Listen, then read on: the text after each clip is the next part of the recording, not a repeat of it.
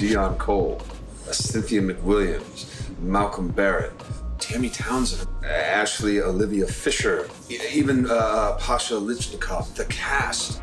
Joe's a very caring guy who is all about family and uh, could do anything for his family at any cost.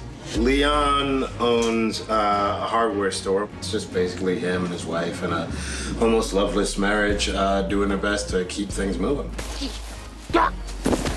They're old friends. They're neighborhood buddies. Uh, there's a lot of ball busting. But they'll literally uh, bury a body for each other.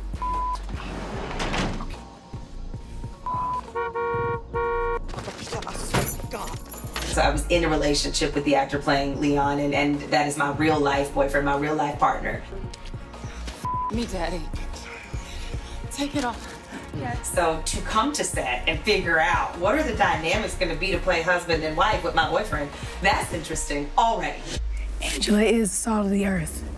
She's a hardworking woman, loves her family, and the backbone of the Washington family. I'm playing the character Jennifer. She enjoys going out with her friends, and she has a boyfriend that her parents are not really happy about. Please, you're in on it. Everyone shuts up. Oh. Sergeant Pam is she's fierce, she is powerful, very sharp and determined. She also swears a lot, and sometimes I swear a lot. Shut the Don't be passing in my.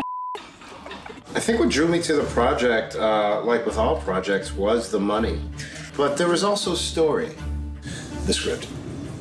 This is one of those special projects that, as an actor, you don't get often get the chance to choose what you do next. And then I duck. And then use that right hand and sling him towards the desk.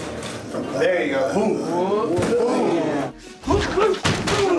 Here we go. And Boom. Good.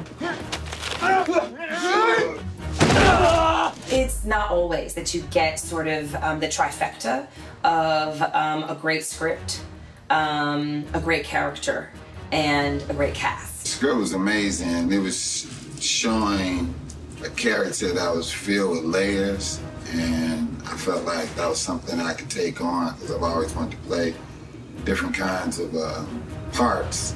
And this character had all the parts. We are doing something exciting, something new, something different because it's good. where are you hiding? Got it?